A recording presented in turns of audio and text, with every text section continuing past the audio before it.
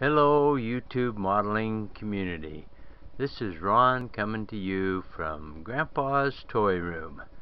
And this week was not real productive. I didn't get anything finished on the bench. So I can't give you a final update.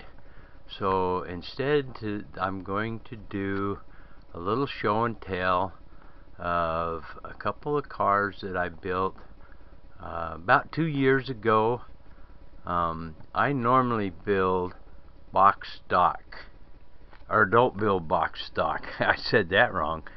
I normally build hot rods, customs, and race cars. But these two cars that I'm going to show you just deserve to be built as original style cars. Um, I don't even remember if the kit, I think the kits were Revell or maybe Revell monogram. I had had them for several years before I ever built them. But the 59 Chevy was the first one I put together and I did it in um, probably early early 60s style um, I used the bubble fender skirts on it put the Continental kit on it. Uh, all of that stuff came with the kit. Um, it's painted with Van Sickle uh, super premium paint uh, that I get at my local Orscheln store um, in spray cans. Uh, it lays out a beautiful, beautiful paint job.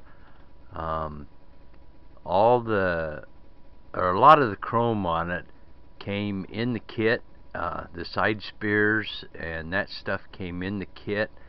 The chrome down the front fenders and on the tops of the quarter panels um, was all done with bare metal foil. Um, so were the uh, windshield wipers, um, the chrome strips that you can see on the seats in the interior. If we can get closer here and not go all totally out of focus, um, those are all done in bare metal foil. Um, the upholstery, um, the I don't remember what Chevy called it, but the upholstery inserts in the red seat. Uh, those were actually decals that came in the kit. Um, and then all the door handles, that stuff, uh, the little ashtray covers, all of that was done with bare metal foil.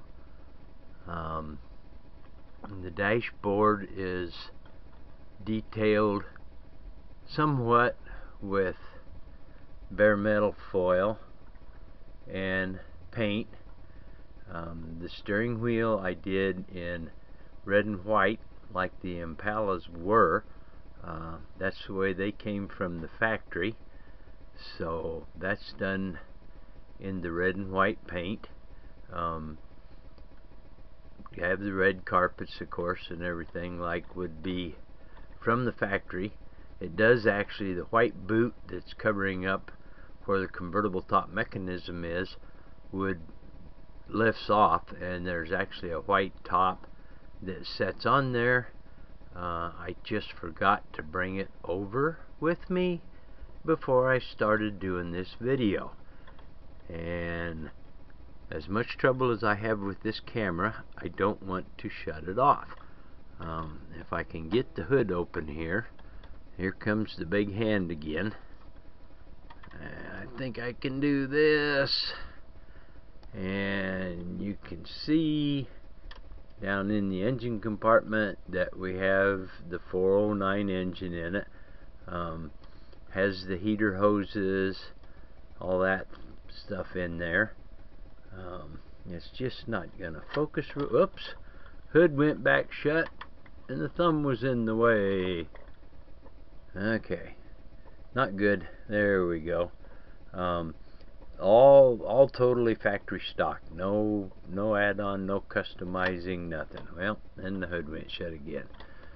So we'll just back up here and spin that sideways and then we're going to lift that one off of there move it and the next one we're going to get is the 55 Chevy convertible.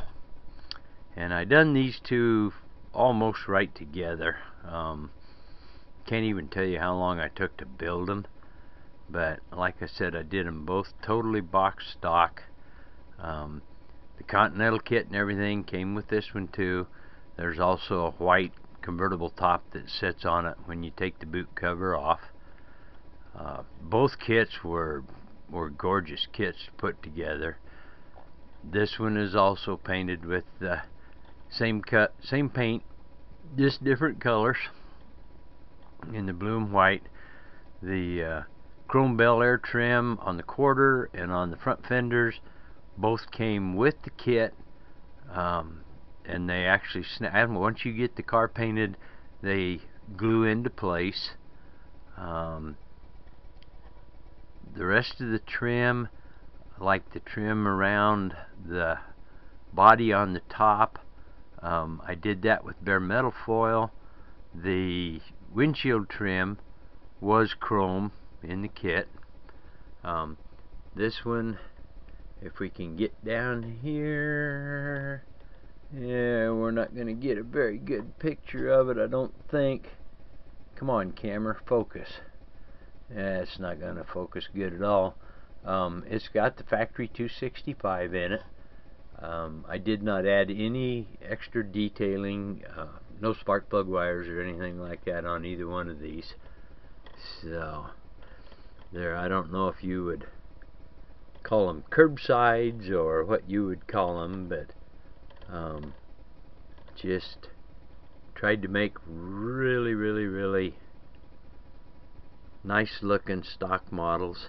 Um, used the used the factory fender skirt on these two, or on this one too. The interior is painted. Um, the dark blue in the seats is the same thing as the car was the light blue is a Testors um, brush painted blue that I added a little bit more white to get the lighter blue to get the light color that I wanted to go with the interior um, dashboard and steering wheel are just like they would be from the factory. Um, nothing nothing special added there. Just basically box stock built kits.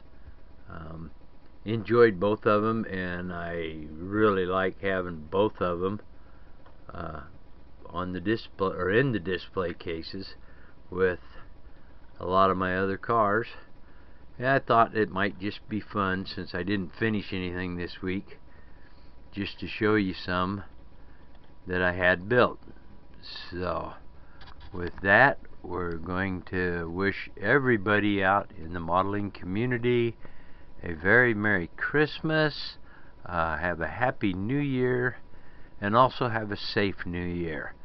Uh, see you again, guys. This is Ron signing off from Grandpa's Toy Room. Merry Christmas!